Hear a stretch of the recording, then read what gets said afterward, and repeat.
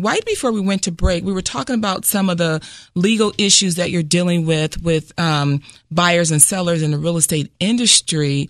I know personally, when it comes to legal issues, you're one of those attorneys that really tries to vet out for their clients the reasonableness of suing. And you're just not an attorney that's just going to say, go file a lawsuit. That being said, from a legal perspective, what are some of the traps that you're seeing buyers and sellers falling into?